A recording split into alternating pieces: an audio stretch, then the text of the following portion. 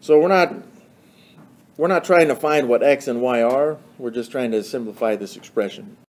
All right. So here we have that trinomial there in, the numerator being divided by this monomial in the de denominator.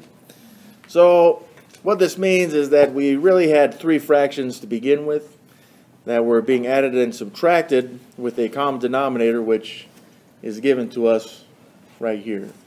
So let's go ahead and rewrite this as three different fractions. So we're going to have everything in the numerators. So we still have that 6x to the power of 5y. We got 75x to the power of 4y. That, that's supposed to be 4. And then uh, you could say that's a mi that's a plus and minus. So minus 24x to the power of 3y squared. And all of this stuff is being divided by the same denominator, which was given here as 3x to the power of 4y. But it'll be like that for all three of these terms. All right, now we just look at these individually. So for example, it may be good to just kind of ignore all the other stuff and focus on this one term at a time. For example, this 6x to the power 5y, so we do 6 divided by 3, which is 2. x to the power of 5 divided by x to the power of 4 is the same as x to the power of 5 minus 4. So that leaves us with an x to the power of 1, but uh, we don't usually show that 1 right there. And then y divided by y, those just cancel out. So that's our first term, so let's move this over so we can see this next term. And that is going to be added to our 2x.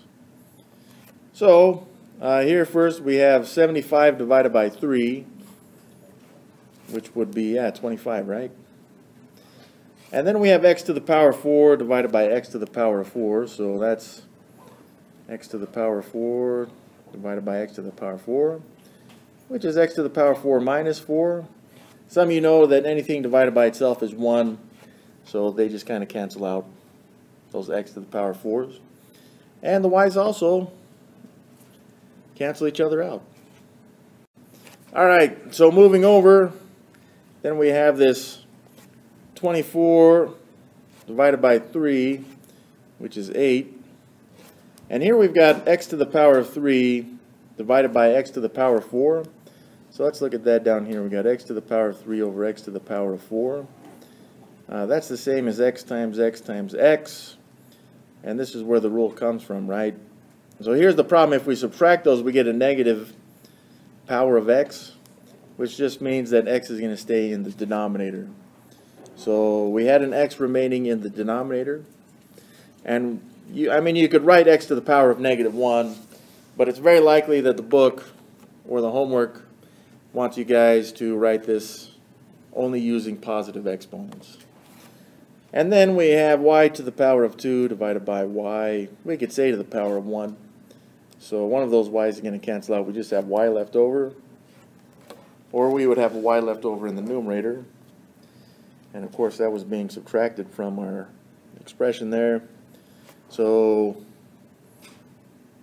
I mean that's kind of apart from each other. Let me rewrite this thing down here. This is 2x plus 25 minus 8y divided by x.